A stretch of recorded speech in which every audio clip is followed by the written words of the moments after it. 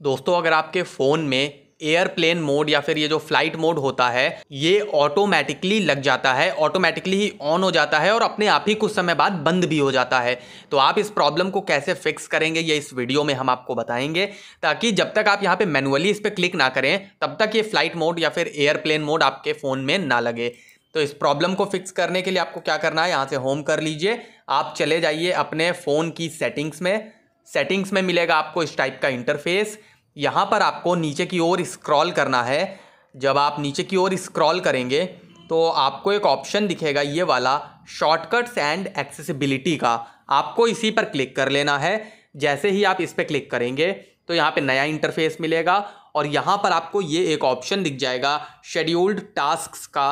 आपको इस पर क्लिक करना है और जैसे ही आप इस पर क्लिक करेंगे तो यहाँ पर आपको एक ऑप्शन दिख जाएगा ये वाला शेड्यूल एयरप्लेन मोड का। आप ये देख सकते हैं, यहाँ पे ऑन है, आपको इसको क्लिक करके बंद कर देना है। जब ये ऑन होता है तो यहाँ पे होता क्या है, जो एक्टिवेशन टाइम सेट होगा, उतने बजे ये एक्टिवेट हो जाएगा, लग जाएगा फ़्लाइट मोड और जो डीएक्टिवेशन टाइम होगा, उतने बजे हट जाएगा फ़्लाइट मोड ठीक है? तो आपको यहाँ पे इसको क्लिक करके बंद कर देना है, आपकी ये प्रॉब्लम सही हो जाएगी।